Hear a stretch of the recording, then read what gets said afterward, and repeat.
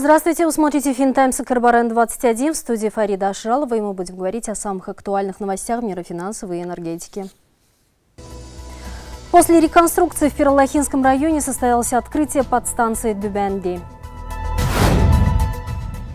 Срочной встречи министров стран ОПЕК плюс в связи с коронавирусом в феврале не ожидается министр энергетики Азербайджана. Правительство Китая выделило 10 миллиардов долларов на борьбу с коронавирусом. Накануне президент Азербайджана Ильхам Алиев принял участие в открытии после реконструкции подстанции Дюбенди. Мощность станции в Перлахинском районе 110-35-6 киловольт. Отмечается, что в стране будут продолжены работы по восстановлению и модернизации подстанций.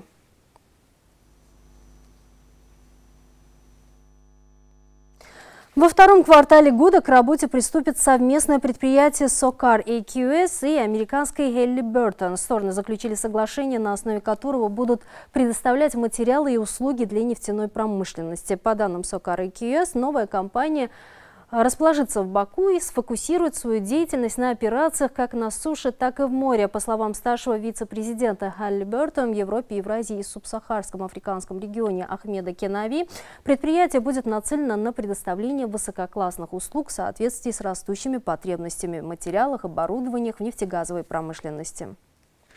Внеплановой встречи министров стран ОПЕК плюс в связи с коронавирусом в феврале не ожидается. По словам министра энергетики Азербайджана Пярвиза Шахбазова, стороны обсуждают влияние на рынок нефти вируса из Китая в формате ОПЕК плюс. Координацию этих обсуждений осуществляет секретариат ОПЕК. Обсуждение проводится и непосредственно между самими странами-участницами сделки, отметил министр энергетики Азербайджана. По его словам, после того, как стороны проанализировали рынок, пришли к мнению, что ранние встречи министров не будет будет. Она состоится, как и планировалось ранее, в марте.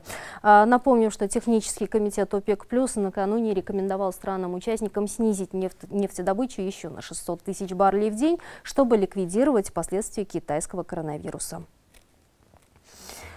Цены на нефть перешли к снижению из-за негативного влияния коронавируса на промышленность Китая, крупнейшего мирового импортера нефти. Несмотря на то, что 10 февраля многие китайские предприятия возобновили работу после длинных выходных и новогодних праздников, часть организаций все еще закрыта.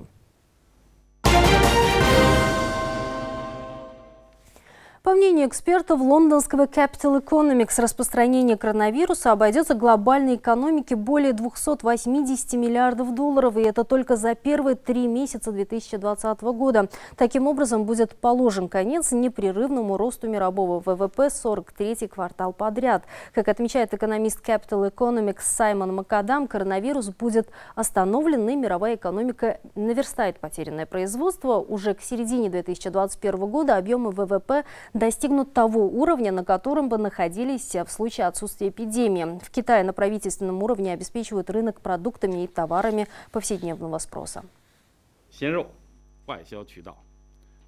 Цены на зерно и нефть в стране оставались стабильными. Стоимость мяса изменилась незначительно. Снизилась цена на мясо птицы и фрукты. Овощи подорожали. В некоторых регионах все еще существует кратковременная нехватка. Например, свежее мясо и овощи, маски и дезинфицирующие средства могут периодически отсутствовать. Более 10 миллиардов долларов выделило правительство Китайской Народной Республики на борьбу с коронавирусом. По сообщению Министерства финансов, выделенные средства будут направлены на диагностику и лечение зараженных вирусом. Также будут использованы для покрытия финансовых затрат регионов, чтобы ни один из них не столкнулся с материальными проблемами. Тем временем предприятия 30 из 31 региона провинциального уровня возобновляют производство. По словам заместителя директора по экономике и торговле комиссии, ключевым Ключевые предприятия по всей стране восстанавливают производство и бизнес. Заместитель директора отметил, что регионы с серьезной эпидемией все еще должны сосредоточиться на борьбе с эпидемией. В настоящее время, за исключением Хубея, остальные 30 предприятий провинциальных регионов возобновили производство и бизнес. Согласно мониторингу, 73% производителей масок восстановили свои производственные мощности. Более 94% предприятий по производству и переработке зерна возобновили производство по всей стране. Поставки природного газа, электричества и рафинированной нефти составили больше, чем необходимо. Гражданская авиация, железнодорожные и водные транспортные сети работают нормально. Завтра в Женеве начнется двухдневный форум Всемирной организации здравоохранения, посвященный разработке вакцины от коронавируса. По последним данным, жертвами вируса стали более 900 человек по всему миру. Количество зараженных превысило 40,5 тысяч.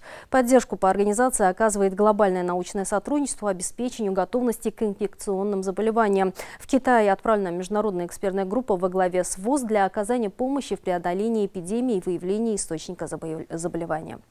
Американские фондовые индексы по итогам прошлой недели снизились, несмотря на сильные данные по рынку труда. Число рабочих мест в экономике США в январе увеличилось на 225 тысяч. Индексы Азиатско-Тихоокеанского региона в основном снижаются. Инвесторы опасаются за экономику Китая и всего мира, поскольку коронавирус представляет угрозу для целого ряда отраслей, включая туризм, торговлю и перевозки.